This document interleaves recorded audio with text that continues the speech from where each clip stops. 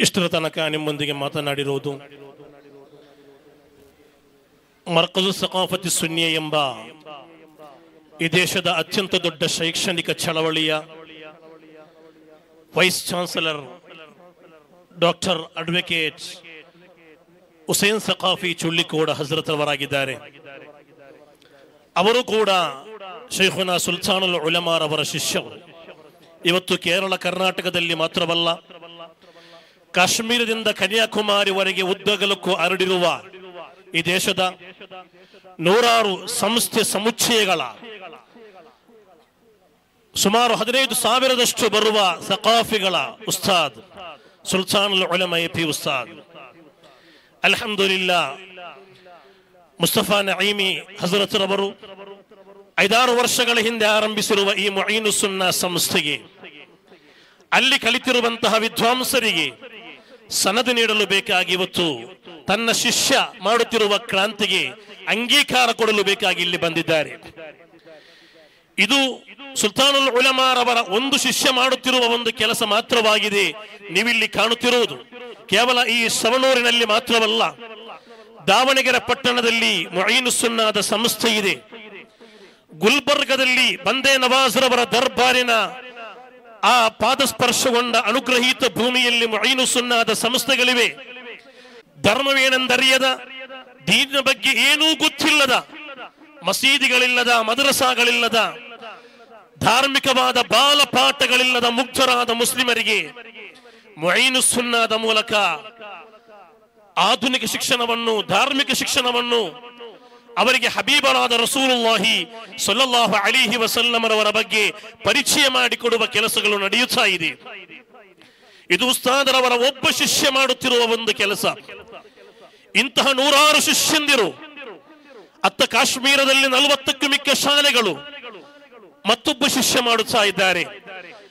ಪಶ್ಚಿಮ ಬಂಗಾಳದಲ್ಲೂ, ಹರಿಯಾಣದಲ್ಲೂ, ಗುಜರಾತಿನಲ್ಲೂ, ಮಹಾರಾಷ್ಟ್ರದಲ್ಲೂ, ಇನ್ನು ದೇಶದ ಉದ್ದಗಲಕ್ಕೆ ಯಾವುದೆಲ್ಲ ರಾಷ್ಟ್ರಗಳಿವೆಯೋ ರಾಜ್ಯಗಳಿವೆ, ಎಲ್ಲ ರಾಜ್ಯಗಳಲ್ಲಿ. ಉಸ್ತಾದರ ಶಿಷ್ಯಂದಿರ ಶೈಕ್ಷಣಿಕ ಚಳವಳಿ ಖಂಡಿತವಾಗಿಯೂ ಈ ದೇಶದ ಪ್ರತಿಯೊಬ್ಬರಿಗೂ ಮಾದರಿಯಾಗಿದೆ.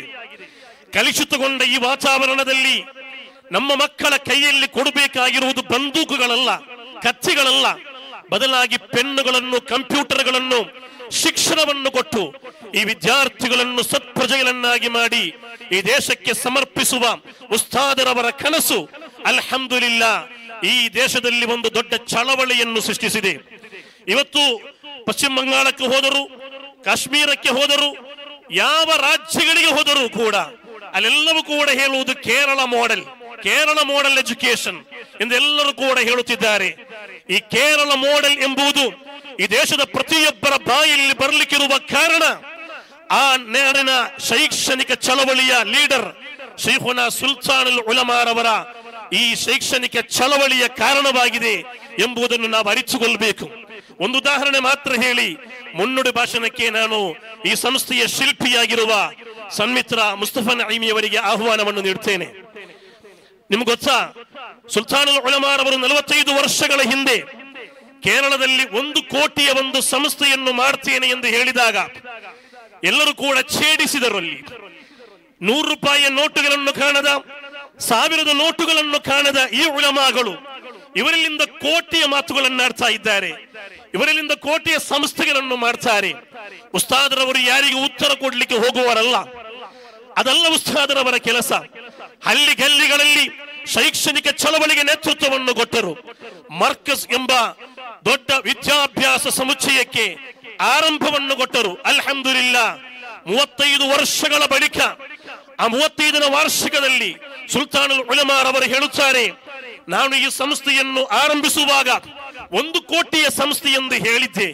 ಆದರೆ ಅವತ್ತೆಲ್ಲರೂ ತಮಾಷೆ ಮಾಡಿದರು. ಇವತ್ತು ಮೂವತ್ತೈದು ವರ್ಷದಲ್ಲಿ ಮರ್ಕಸ್ ವಿದ್ಯಾಭ್ಯಾಸ ಚಳವಳಿಗೆ ಬೇಕಾಗಿ ಖರ್ಚು ಮಾಡಿರುವುದು ಎರಡು ಸಾವಿರ ಕೋಟಿಗಳಾಗಿವೆ. ಅಲ್ಹಮ್ದುಲಿಲ್ಲ, ಈ ಎರಡು ಸಾವಿರ ಕೋಟಿಗಳು ಕೇವಲ ಮೂವತ್ತೈದು ವರ್ಷದಲ್ಲಿ. ಇನ್ನು ಈ ಭಾರತದಾದ್ಯಂತ ಶೈಕ್ಷಣಿಕ ಚಳವಳಿಗೆ ಬೇಕಾಗಿ ಉಸ್ತಾದರವರು ಅವರ ಶಿಷ್ಯಂದಿರು ಮಾಡಿರುವ ಖರ್ಚು ಅದು ಹೇಳತೀರದ್ದಾಗಿದೆ ಅಲ್ಹಮ್ದುಲಿಲ್ಲ, ಅಂತಹ ಒಬ್ಬ ಮಹಾನ್ ಪುರುಷರಾಗಿದ್ದಾರೆ. ಇವತ್ತು ಈ ಶಾಹನೂರಿನ ಭವ್ಯವಾದ ಮಣ್ಣಿಗೆ ಕಾಲಿರಿಸಿರುವುದು, ಅವರ ಪವಿತ್ರವಾದ ಹಸ್ತಗಳ ಮೂಲಕ ಸುನ್ನಾದಲ್ಲಿ ಬಿರುದು ಪಡೆಯುತ್ತಿರುವ ಇಲ್ಲಿನ ವಿದ್ಯಾರ್ಥಿಗಳಿಗೆ ಪದವಿದಾನವನ್ನು ನೀಡಲಾಗ್ತದೆ.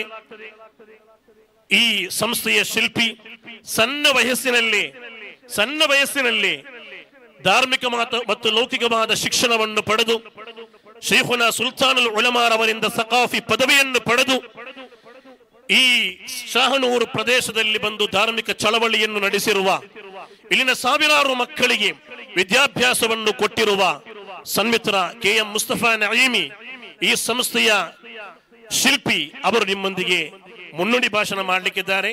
ಆದರಪೂರ್ವಕ ಆಹ್ವಾನ.